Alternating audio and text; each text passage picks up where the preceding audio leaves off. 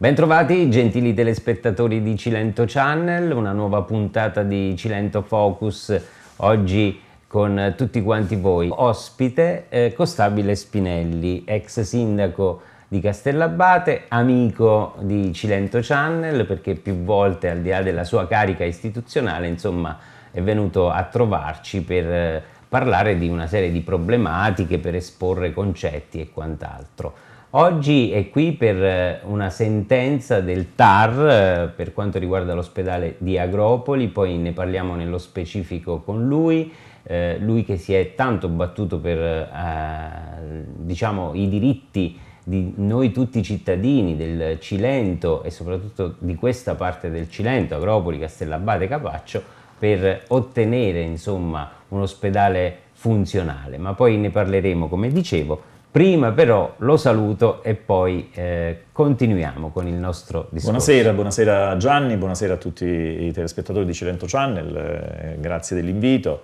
eh, mi fa veramente piacere essere qui, insomma, e poter affrontare, poter discutere di queste, di queste, di queste cose importanti, ritengo, eh, sulle quali oggi insomma, rischia di passare tutto in silenzio, in sordina, e invece credo che sia giusto mantenere l'attenzione eh, anche informare sull'evoluzione di queste vicende, una vicenda, questa dell'ospedale che abbiamo trattato in diverse, in diverse volte, insomma ricorderanno tutti il ricorso del comune di Castellabate, io allora eh, volutamente impugnai questo decreto del commissario d'Acta per, che riorganizzava la rete eh, del, del, il piano per la programmazione della rete ospedaliera eh, insomma, eh, lì c'è stato un... oggi siamo arrivati a sentenza, oggi è stata pubblicata la sentenza, si è tenuta l'udienza lo scorso 22 ottobre, se non ricordo male.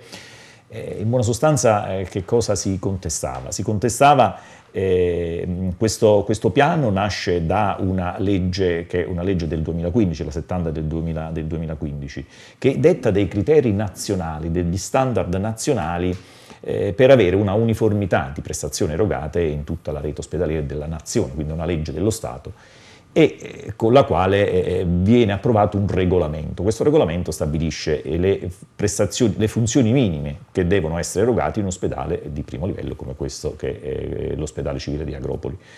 Allora la contestazione stava proprio nella, mm, diciamo, nel rispetto di questo regolamento, nel rispetto di quelle che erano le eh, prestazioni minime che dovevano essere garantite in questo ospedale e cioè una, un pronto soccorso, che è la cosa fondamentale, un pronto soccorso, ma quando si dice pronto soccorso significa sale operatorie, eh, significa laboratorio, significa radiologia, significa personale adeguato per coprire un pronto soccorso eh, nel vero senso della parola, per le 24 ore, e quindi una serie, sale operatorie, e quindi una serie di, eh, diciamo, di, di, di connotati importanti affinché questo possa essere definito pronto soccorso e con la degenza che è importante. Questo, quando è stato adottato questo criterio, questo, questo decreto, era in contrasto, perché mentre la legge eh, insomma, eh, adottava questo regolamento e stabiliva questi criteri, ripeto, minimi essenziali, eh, eh, l'ospedale di Agropoli non aveva questi, questi, questi, criteri, quindi si faceva riferimento a un regolamento che poi nei fatti non era rispettato, non veniva rispettato. Questo era il motivo della, della, della, del, del. Del, del, ricorso col quale Parliamo, scusami, Costabile, del 2018? Sbaglio. 2018, sì, perché il piano 2018. Poi c'è da dire un'altra cosa. C'è da dire pure che questo, diciamo, l'atto di indirizzo aziendale che viene dato è un atto di indirizzo che è successivo alla legge del 2015, quindi c'è un atto di indirizzo eh, della regione che è del 2016 al quale poi eh, è, stato è, stato, è, stato dato seguito sempre con una sorta di copia e incolla fino al 2018, perché l'atto di indirizzo generale, quello del 2016, poi è stato riportato negli anni successivi, anche nel 2018, che è stato quello da poi, dal quale scaturisce il decreto, eh, diciamo la, il decreto del commissario d'ACTA per la riorganizzazione della rete ospedaliera. Mm, faccio due brevi considerazioni. La prima è che la situazione dal 2016 al 2018 anzi meglio al 2020, perché poi questa discussione nei fatti si è tenuta nell'ottobre 2020, in piena pandemia, in piena situazione emergenziale per tutta la nostra nazione e quindi anche per Agropoli e anche per il nostro Cilento.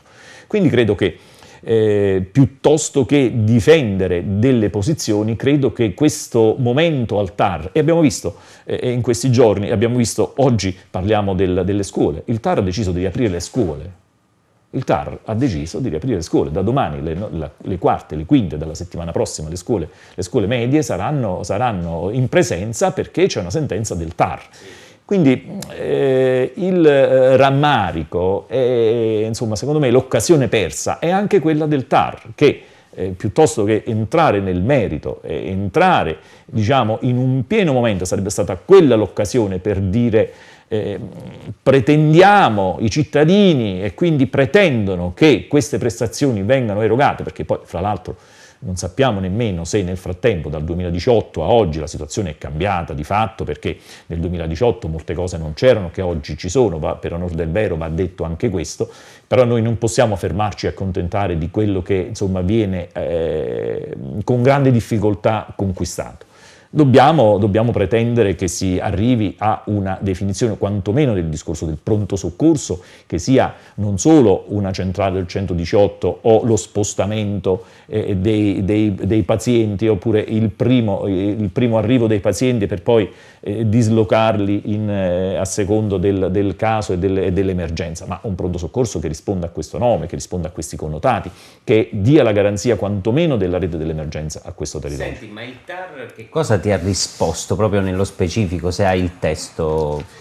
Il TAR, il TAR ha risposto che eh, anche in, in ipotesi, ecco leggo testualmente, ecco. è evidente che anche in ipotesi di accoglimento non è la presente sede giurisdizionale impugnataria a poter risolvere siffatte riserve, apparendo più pertinente un'azione di stimolo alla concreta realizzazione delle misure attuative eventualmente attraverso richieste ed intimazioni alle competenti amministrazioni per il compimento di tutti i necessari adempimenti al decreto oggetto di impugnazione. Praticamente uno, uno scaricabarile. Che in sostanza il TAR ha detto non è questa la sede competente, ma potete fare un'azione di, di intimazione, di sollecito alle amministrazioni competenti. Quindi dovremmo sollecitare l'ASL, che nel frattempo si è costituita, piuttosto che andare a dire come ha fatto per la scuola, aprite queste scuole, aprite oppure garantite i servizi, perché noi alla fine richiedevamo quello con questo ricorso, garantite i servizi in questo ospedale, eh, insomma non è questa la sede competente, quindi dovremmo noi oggi, in virtù di questa, di questa sentenza, compulsare le amministrazioni competenti, quindi Regione e ASL, per ottemperare e quindi rispettare quello che la legge prevede per un presidio ospedaliero di primo livello come l'ospedale di Agropoli. Allora, eh, voglio dire, mm, siamo in un momento storico particolare dove la rabbia, la delusione, eh, anche rispetto a certe vicende, e torno a dire anche perché credo che su questa vicenda mm, bisognava mettere maggiore pressione, ci voleva maggiore coinvolgimento. Ecco, oggi ne sto parlando io, ma altrimenti questa è una situazione che poteva anche passare eh, in, in second'ordine e nel silenzio, nell'indifferenza generale, però qui ci voleva una grossa sensibilizzazione, eh, le amministrazioni, i comitati in, su, questo, su questo giudizio, perché quando il TAR si doveva trovare di fronte, si è trovato di fronte a una sentenza del genere, piuttosto che trovarsi la, uh, insomma, la comparsa o la presenza di un, di un comune. o di un avvocato nel, nel, nel, caso, nel, caso, specifico, insomma era il momento anche di poter tornare e considerando il momento particolare, considerando quello che è la difficoltà che stiamo vivendo in questo momento e ci stiamo rendendo conto della difficoltà soprattutto della sanità pubblica che puntualmente oggi in sofferenza per quello che è eh, la situazione emergenziale che stiamo vivendo, poteva essere questo il momento, quantomeno per intimare all'ASL di garantire quello che la legge dice, o addirittura di rivedere il piano ospedaliero anche alla luce di quelle che sono le difficoltà. Poi è chiaro che a monte eh, di tutto questo c'è una volontà politica che è quella di rivedere, quello di, di, di, insomma, di, riorganizzare di entrare, e di entrare nel merito. Io spero, l'ho detto, io sono tendenzialmente sono, sono ottimista, sono fiducioso, eh, oggi ci stiamo, stiamo sentendo recovery, stiamo sentendo MES, stiamo sentendo tante eh, risorse che saranno assegnate alla sanità. E io credo che l'ospedale di Agropoli sia l'esempio plastico, calzante, di come oggi noi non possiamo rinunciare alle risorse, come noi oggi non possiamo rinunciare a rimettere in piedi sul nostro territorio una sanità che risponda a questo nome, una sanità efficace, efficiente, soprattutto la sanità pubblica,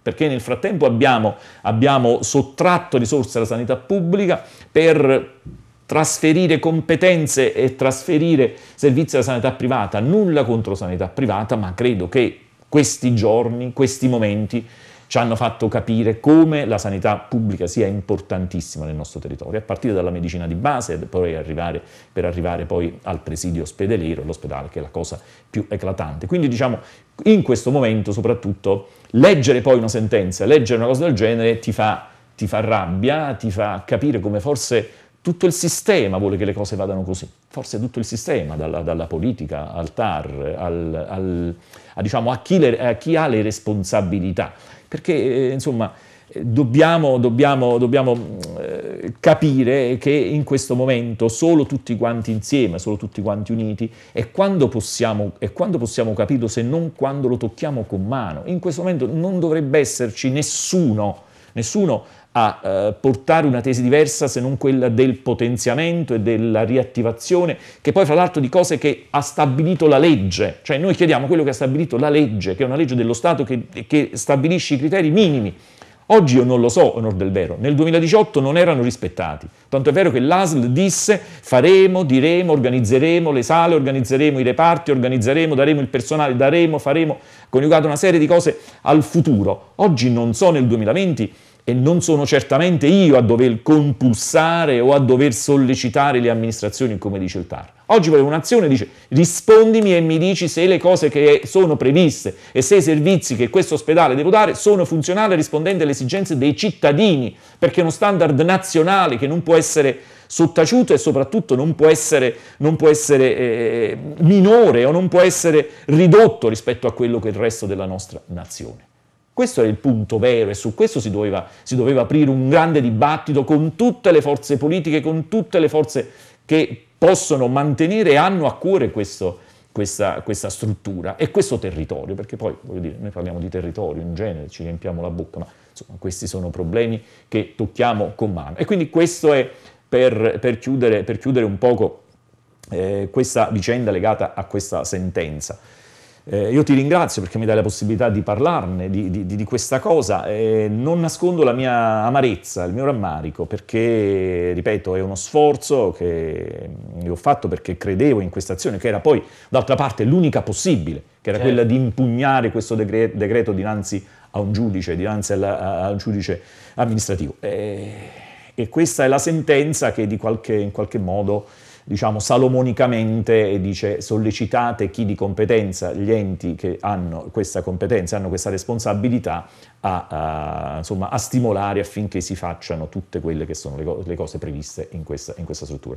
Chiaro. Diciamo che non ci possiamo accontentare e che credo sia un'altra ehm, occasione persa Un'altra sconfitta. Un'altra sconfitta non, del territorio. Non mia, non mia perché territorio. ho fatto quello che potevo e ho fatto quello che era nelle mie possibilità, ma credo del territorio, perché, insomma, ripeto, abbiamo assistito uh, uh, ieri a una sentenza nei confronti della scuola, eh, farà eh, che il TAR, sconfessando eh, un'ordinanza del Presidente della Giunta regionale, della, del governatore, eh, fa ritornare in presenza le scuole, su questo era il momento dove si poteva dire attenzione, quando meno non lo modifichiamo perché non entriamo, noi ne abbiamo le competenze di modificare, ma rimandiamo all'ASL per creare uno strumento adeguato che risponda alle esigenze del territorio. Poi lo discutevamo, lo discuteva l'ASL, lo discuteva chi di competenza, lo discutevano le associazioni, le categorie, eh, gli enti interessati,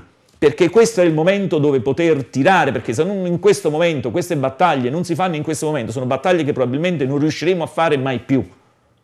Quindi questo è quello che mi rammarica, quello che mi, che mi, che mi dispiace e che mi addolora. So, io però ho fatto quello che potevo, più di questo io non, potevo, non, posso, non posso, fare, cioè non posso certo eh, andare insomma, oltre quelli che sono i, i canali. Spero che, eh, però ripeto, voglio essere ancora fiducioso e ancora ottimista, spero che la politica, la politica regionale eh, abbia un sussulto, e, insomma, ascolti le amministrazioni locali, le associazioni, le popolazioni eh, e dia eh, insomma, ecco, l'esempio giusto, come ho detto prima, plastico dell'ospedale di Agropoli, dia un segno forte, importante di come utilizzare le risorse perché la salute non può essere legata a tagli di bilancio. Oltretutto abbiamo superato, sempre, eh, insomma, abbiamo avuto sempre l'ostacolo del commissariamento della sanità in Campania.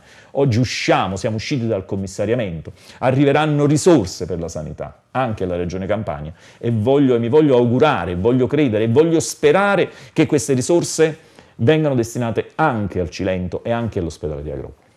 Senti, adesso che non sei più sindaco e quindi qualche dichiarazione la puoi fare sbottonandoti tra virgolette, no?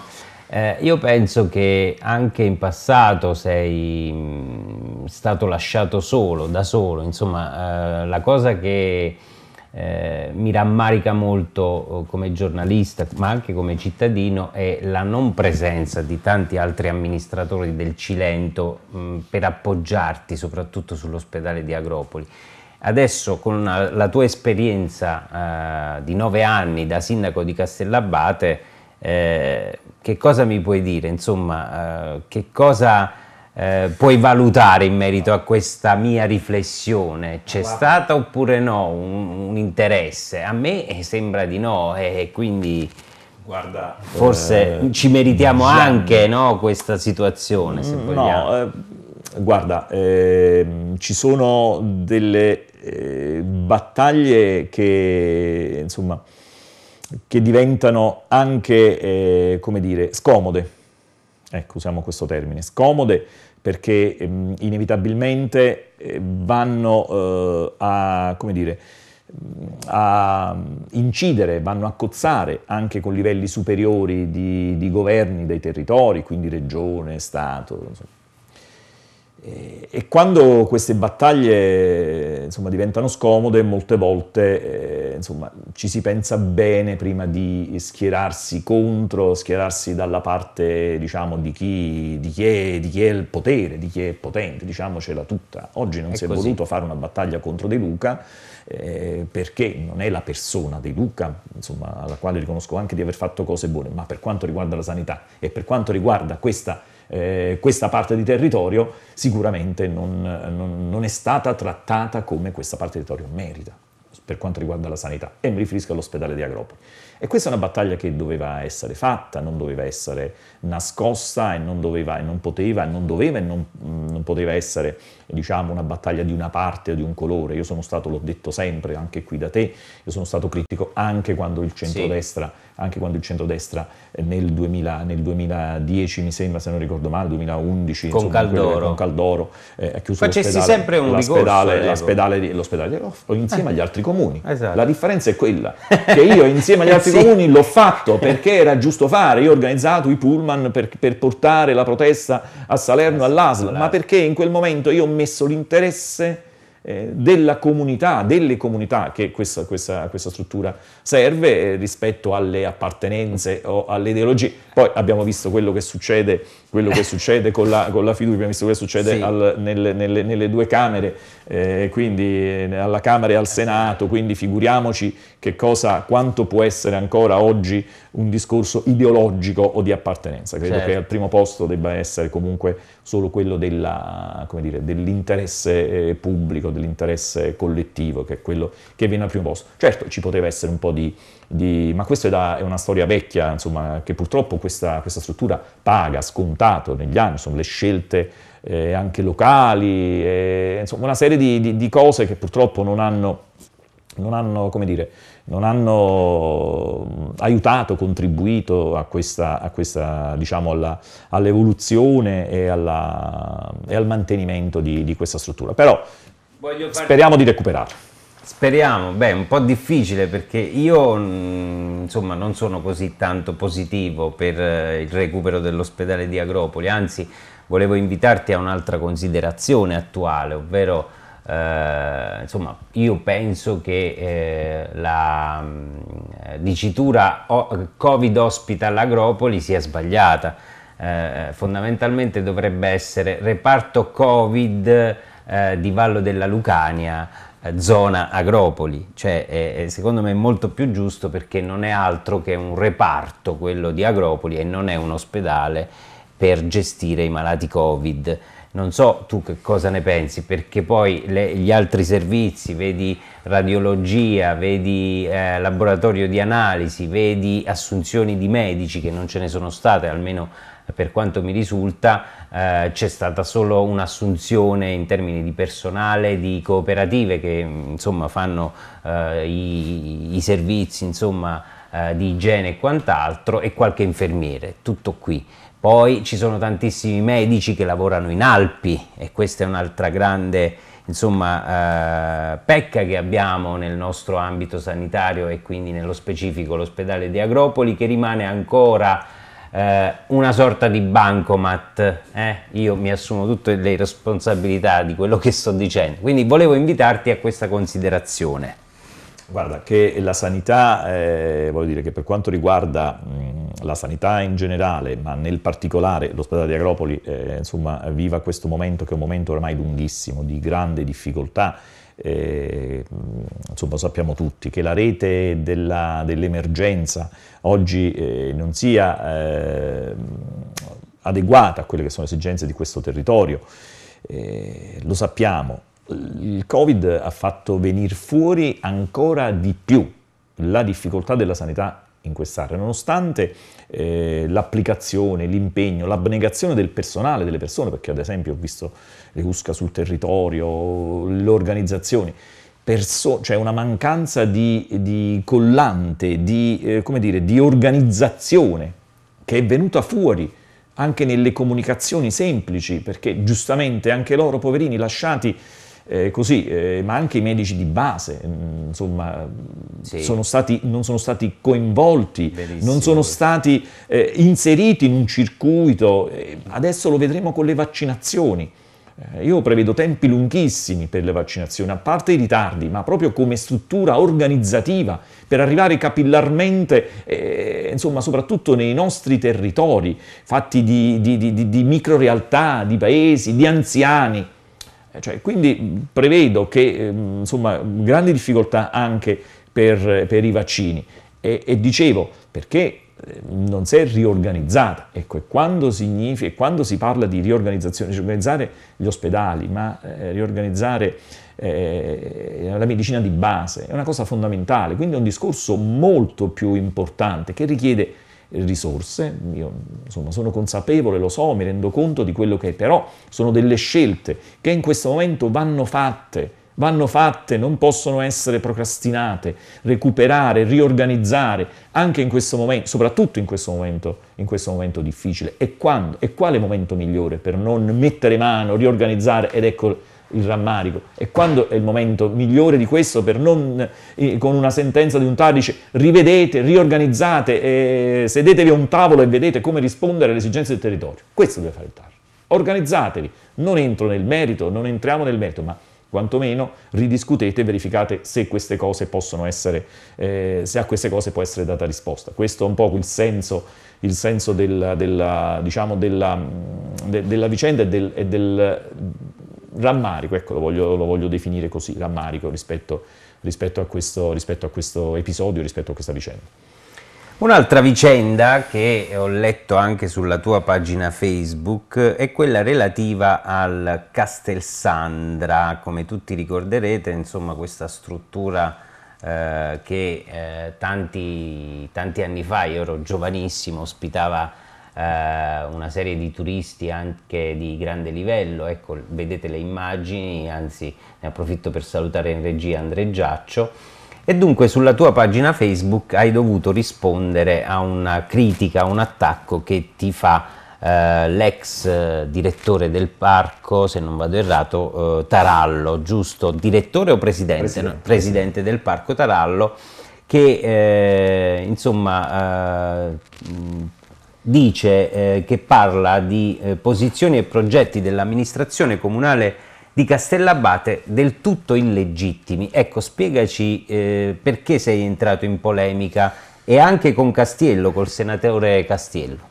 Allora, la, vicenda, la, vicenda, la vicenda, è, è, molto, è molto, semplice. Eh, questo è un bene, c'è una lunga, c'è una lunga storia, storia processuale eh, che parte da quando questo bene è stato confiscato negli anni 90, poi comunque va avanti per tantissimi anni, fino ad essere consegnato nel 2011, se non ricordo male, al comune di Castellabate e quindi nella disponibilità perché è un bene che eh, nasce su terreni, su usi civici, quindi gravati da uso civico e quindi viene consegnato al comune di Castellabate. Il primo, quindi il comune di Castellabate diventa proprietario, proprietario di, di, questo, di terreno questo, nel, questo, 2011. nel 2011. Si chiude questa, questa lunga vicenda giudiziaria e arriva al comune di Castellabate. Chiaramente il comune di Castellabate in questi anni ha sempre sostenuto la tesi della eh, conservazione del corpo centrale che è regolarmente autorizzato con licenze degli anni 70, quindi sono state Quindi l'hotel, no? Esatto, la parte del corpo centrale mentre tutto il parco, tutto quello che nasceva intorno, che erano circa 28, se non mi ricordo male, villette, più una serie di, di, di, altre, di altri manufatti presenti nel parco, che non erano autorizzati, quindi la demolizione. Bene. Questo è stato la, la, quello che il Comune ha sempre sostenuto, quello che, eh, insomma, che anche io sostengo, sul quale credo, eh, ecco, qui la... Eh, la l'interrogativo è una valutazione senza, eh, come conoscere dire... i fatti. Ma no, a parte conoscere i fatti, ma eh, cercando di non essere, di non cadere in facili strumentalizzazioni e demagogie, diciamoci la verità, perché oggi eh, rispetto a questa tesi della conservazione del corpo centrale c'è chi, insomma, ci siamo scontrati anche durante le fasi processuali con eh, questa corrente, questa scuola di pensiero che voleva l'abbattimento totale. integrale, totale di tutta l'area, eh, insomma perché bisognava comunque abbattere questo bene. Eh, e oggi questo è successo. Nel 2017 abbiamo abbattuto la parte centrale grazie, uh, grazie a un finanziamento del Ministero dell'Ambiente, abbiamo abbattuto questa parte centrale perché era questo il limite, perché se non si sanava di tutti gli abusi quella struttura non poteva, non poteva sicuramente, non poteva sicuramente eh, insomma, eh, parlare, esistere, perché insomma, parlavamo comunque di una struttura di abusi. Allora, la parte, la parte eh, centrale, dicevo che insomma, abbiamo sottoscritto una convenzione con eh, il Parco Nazionale del Cilento, con la sovrintendenza, eh, per creare una cabina di regia alla quale appunto partecipano questi enti per valutare il percorso progettuale, il percorso di recupero di questo, di questo bene. Questo con, nel 2017. 2017. Con una finalità che è quella eh, turistico e quella alberghiera. Qualcuno mi dirà, ma perché alberghiera? Perché guardate, non ci nascondiamo dietro un dito, se non c'è eh, eh capitale, se non c'è eh, eh, risorsa, se non c'è investimento, eh, questa struttura, uno, non la recuperiamo e due, se la recuperiamo non la manteniamo.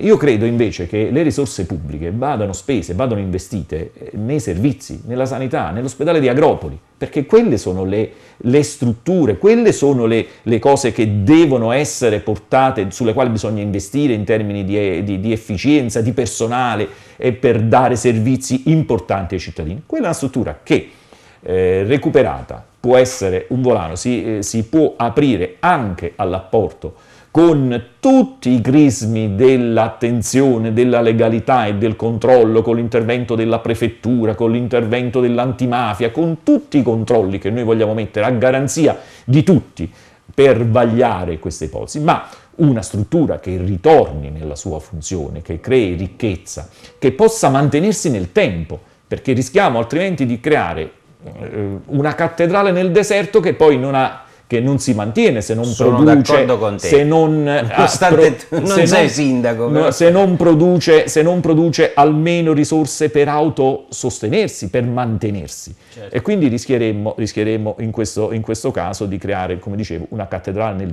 nel deserto. Atteso che l'obiettivo non è quello perché l'orientamento è quello di abbattere completamente non entro in polemica con Tarallo, però la visione, diciamo, diversa, ecco, è quella di recuperare un bene. Eh, lo scempio, secondo me, sarebbe quello di abbattere completamente e lasciare una ferita incolmabile in una, in una montagna, in una collina. Quello sì sarebbe, sarebbe uno scempio.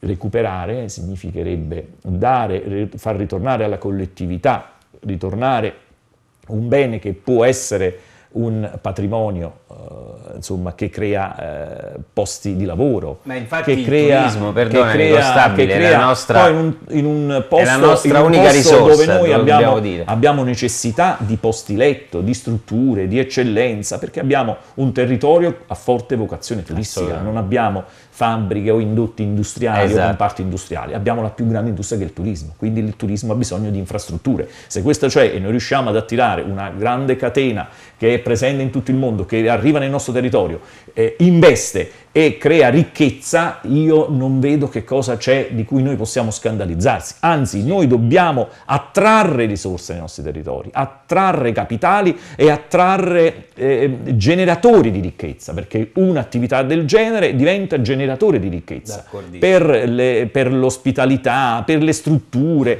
per i posti di lavoro. E questo è stato un poco quello che io ho voluto dire. Poi eh, al, eh, ai senatori interroganti, anzi, e su questo, perché poi in effetti io non entro in polemiche, però ho letto l'interrogazione eh, che Tarallo ha sollecitato al senatore Castiello che cosa chiedeva in questa, in questa, interrogazione. Uno la verifica perché nel frattempo il comune di Castellabate è stato destinatario anche di un finanziamento per la progettazione perché progettare e recuperare un bene così importante solo di spese tecniche per mettere in piedi una progettazione puntuale, diciamo, che risponde oggi a quella situazione, che è una situazione ehm, compromessa, come si vedeva dalle immagini, quindi diciamo bisogna ripartire sì. da zero, è un, è un costo che un comune non si può eh, addossare, non si può accollare perché effettivamente è oneroso. Siamo riusciti ad avere un finanziamento finalizzato a dotarci di una progettazione, quindi dotare il Comune di Castellabate di una progettazione e che cosa, nella, nella, interrogazione che cosa si chiede? Uno, la revoca di questo finanziamento perché è del tutto, se, loro, loro, dal loro punto di vista, illegittimo, quindi di conseguenza non si può uh, progettare su un bene che è illegittimo e quindi diciamo, sarebbe uno sperpero di risorse. E di più, questo secondo me che è ancora più grave, l'annullamento della convenzione del protocollo d'intesa scritto con la sovrintendenza e il parco per il recupero, perché insomma anche quello illegittimo è infondato perché quella non è una cosa che può essere recuperata. Quindi questo è il principio. Allora io innanzitutto mi viene, no, ma mi viene, mi viene mi viene una riflessione rispetto all'interrogazione del, dei senatori e del senatore Castiello in modo particolare. Mi piacerebbe anche conoscere il pensiero dei 1150-1200 elettori del comune di Castellabate che hanno deciso di farsi rappresentare dal senatore Castiello nel 2018. Insomma, voglio anche fare questo inciso e mi piace anche eh, sottolineare questo aspetto perché oggi la crescita di un territorio, delegare e farsi rappresentare significa anche far crescere, far crescere un uh, territorio. Quindi eh, su, questa, su questa cosa eh, io ho pensato e ho replicato, ma non per entrare in polemica, perché sono due visioni del mondo diverse, evidentemente. Non, non ho la presunzione di dire che la mia è quella giusta e quella corretta, ma sono due visioni. Io rispetto la, gli altri modi di pensare, però eh, non possiamo immaginare di, eh, insomma, con questa chiusura, con questo blocco, bloccare ogni, eh, come dire, ogni possibilità, precluderci ogni sì. possibilità. Quindi questo è stato il senso, della, stato il senso del, del, del, del, postman, senza voler entrare in polemica, non, come mio costume d'altra parte, però è giusto, eh, io mi auguro che il Comune di Castellabate porti avanti, chi verrà, insomma, porti avanti questa iniziativa, non cambi idea rispetto a quello e mm, porti avanti quanto stabilito faticosamente con quel protocollo eh, sottoscritto con la sovrintendenza e il, e il parco. Io invece mi auguro che Castiello cambi idea e dia maggiore supporto affinché il progetto possa andare avanti perché mi sembra che è fermo dal 2017, no? Sì, sì, ah, tranne la, il, il, diciamo, il, fondo per la progettualità che sì. è arrivato, però per il resto tre anni sono tanti. Certo, perché no? c'è bisogno, perché anche qui c'è bisogno di risorse, c'è bisogno di mettere in piedi una progettazione, c'è bisogno di avviare degli atti, c'è bisogno, bisogno da fare un iter procedurale molto complesso con la burocrazia con la quale oggi, nella, nella, situazione in cui ci troviamo, con la quale ci troviamo a fare i conti. Quindi avviare un'opera così complessa, ripartendo dalla progettazione, dalla destinazione, quindi gli aspetti vincolistici, gli aspetti procedurali, e quindi sono tante le difficoltà. Ecco perché io l'appello che faccio chiedo di essere vicini, esatto. perché non è un'operazione talmente importante, talmente grossa che non può da solo il comune di Castellabate portare avanti. Quindi c'è bisogno di aiuti e c'è bisogno di, di collaborazione e di condivisione. Ecco perché dico, sono sì. due modi di vedere, due, mm, come dire, due eh, interpretazioni del, del, mondo e della vita evidentemente diversi e quindi eh, per andare nella direzione insomma, di un recupero e della, eh, per far ritornare a una sua uh, funzionalità questo bene. Anche perché c'è una difficoltà, c'è una difficoltà oggettiva, non è una cosa semplicissima da fare. Eh, tu ricorderai, noi siamo, parliamo della stessa area dove la sovrintendenza addirittura ha uh, impugnato un, uh, una conferenza di servizi per la bonifica di una discarica Lì però, là, ecco, ci volevo arrivare, lì però hai avuto la meglio, fortunatamente. Lì eh, per fortuna, fatta. Ma sì, ma per fortuna, per fortuna, ma con un ritardo anche lì di, di tre anni, a rischio revoca di un finanziamento. Cioè parliamo di un finanziamento di 1.300.000 euro. Partiamo dall'inizio però, altrimenti magari qualche telespettatore si è perso il filo.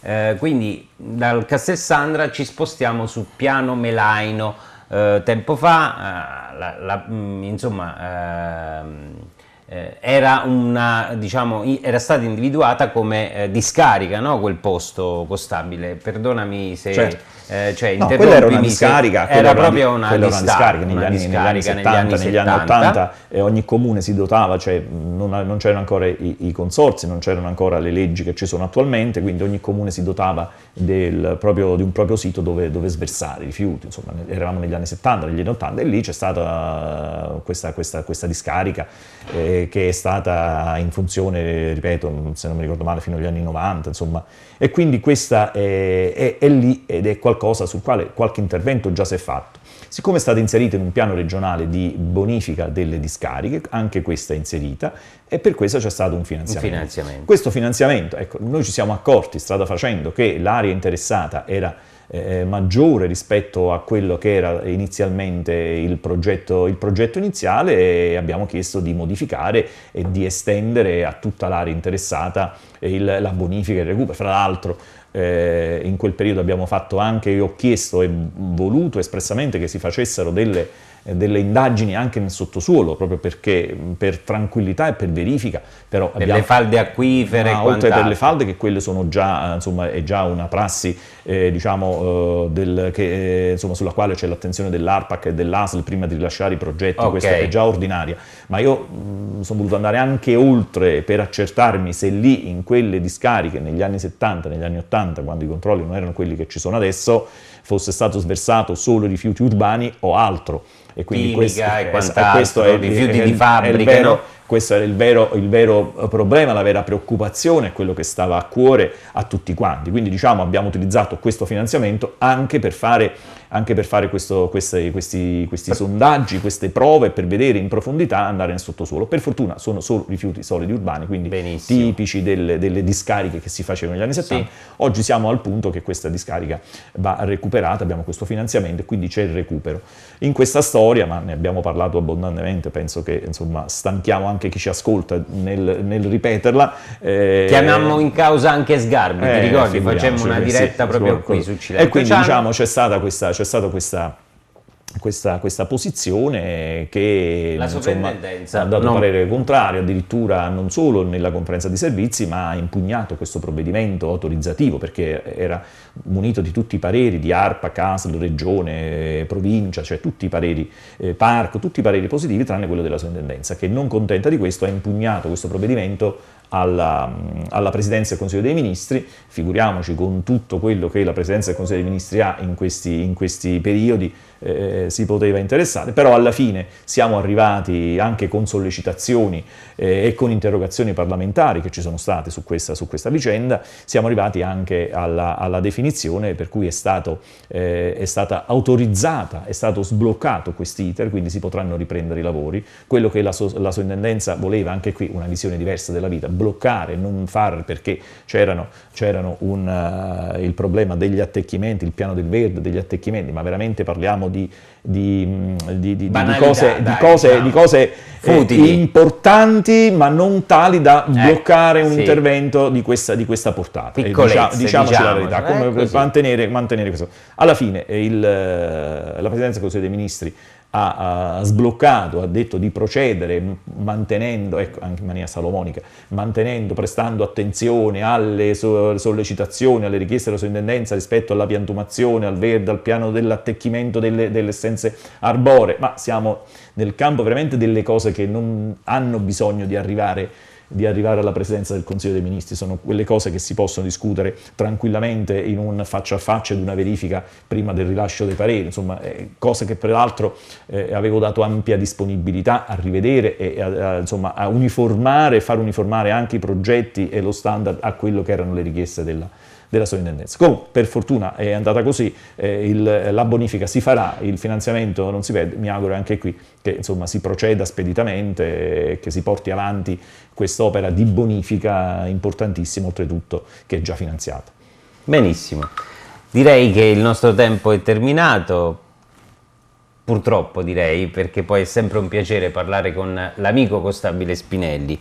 Costabile, io ti aspetto per eventualmente altri focus, sempre per parlare di produttività, territorio, insomma sei comunque un nostro punto di riferimento, nonostante per ora, e mi auguro soltanto per ora, sei fuori dalle istituzioni, quindi io ti ringrazio per aver partecipato. Grazie, grazie a te Gianni, grazie a voi, grazie a Cilento Channel, mi avete dato la possibilità anche di parlare di questo discorso della, della sentenza, che era poi il motivo vero, lo, insomma la cosa principale che è, è di questi giorni, perché è stata pubblicata in questi giorni, eh, insomma, eh, speriamo che anche questo sia una piccola goccia, qualcosa però che serva a mantenere alta l'attenzione e a far sì che più persone, più, eh, insomma tutti, ognuno per la propria parte si, insomma, eh, si attivino, non facendo cadere nel, come dire, nel dimenticatoio, nel dimenticatoio. no, perché lì, ma però nel, nella, eh nell'assuefazione, perché poi il rischio è quello di abituarsi a uno standard e noi sì. poi ci abituiamo, questo è, questo siamo abituati e quindi col tempo poi ci abituiamo e non protestiamo nemmeno più. Ecco, questo è